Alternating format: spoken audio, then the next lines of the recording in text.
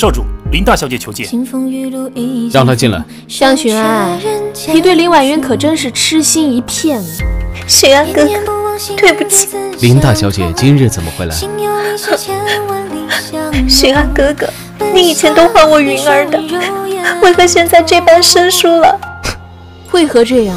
你心里没点逼数吗？妹妹，你何出此言？巡安哥哥，谢云清用我父亲的性命威胁于我，我无他法，只能将计就计。我知道你恨我，所以我我才让静安来照顾你。哦，是吗？那还真是委屈了云儿。江巡安，你真的是被这女人蒙了心。这些日子，云儿受委屈了。林大小姐奔波辛苦，带她去休息。